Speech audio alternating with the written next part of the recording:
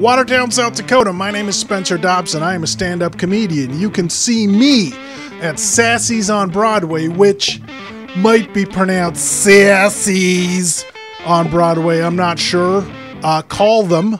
And when you call them, uh, ask them about getting advance tickets. Advance tickets are eight bucks. If you buy them at the door, it's ten bucks. You could use two bucks for stuff. You could buy gum. With that, you could buy half a candy bar. Feature act Alicia Rain. She's from Huron. You're gonna love her.